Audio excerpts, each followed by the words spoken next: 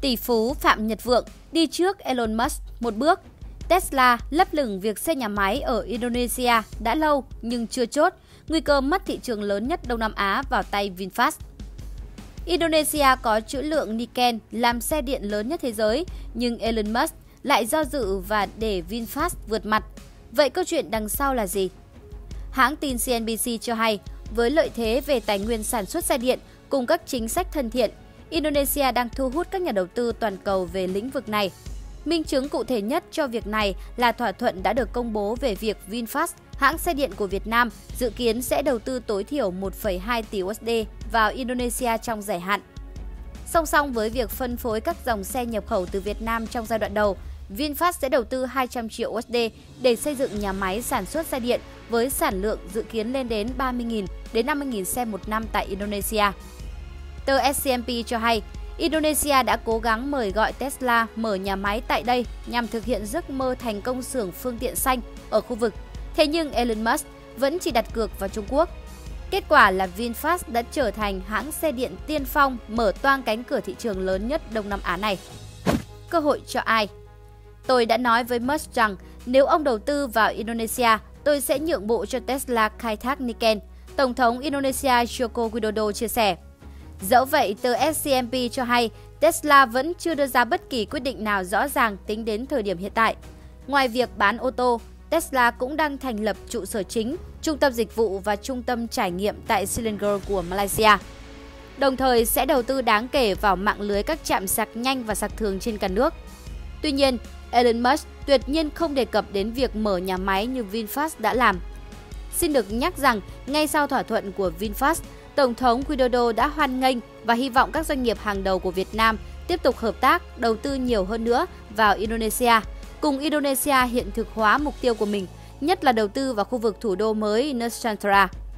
Đây chắc chắn là một cơ hội tốt cho hãng xe điện VinFast khi đi tiên phong vào thị trường này. Quay trở lại với Tesla, chuyên gia Andriy Chastro Nugroho của Viện Phát triển Kinh tế và Tài chính Jakarta cho biết, Niken không phải là một lời đề nghị hấp dẫn đối với Elon Musk nữa.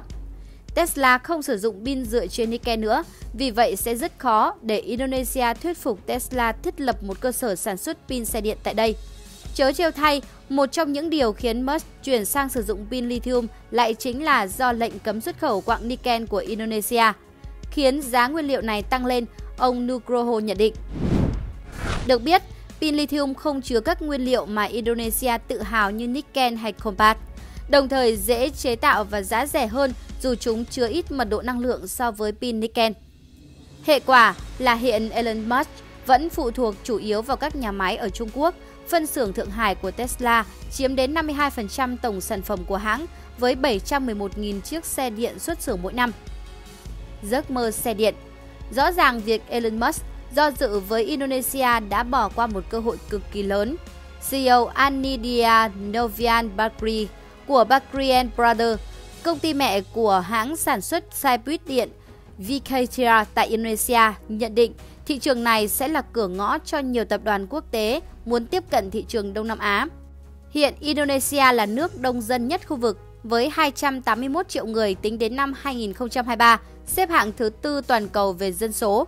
Ngoài ra, số liệu của Ngân hàng Thế giới World Bank cũng cho thấy Indonesia là nền kinh tế có GDP tính theo sức mua tương đương BBB cao nhất Đông Nam Á, đạt 4.036 tỷ USD năm 2022.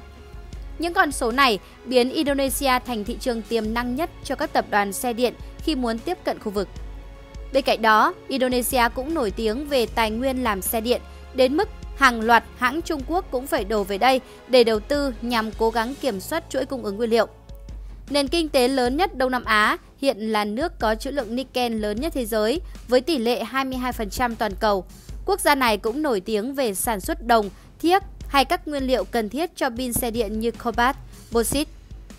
Báo cáo của ASEAN Briefing cho thấy Indonesia đang là nước xuất khẩu Nikken lớn nhất thế giới và đây là một trong những ưu thế cực kỳ quan trọng để Indonesia tự tin thu hút các nhà sản xuất như Tesla hay VinFast.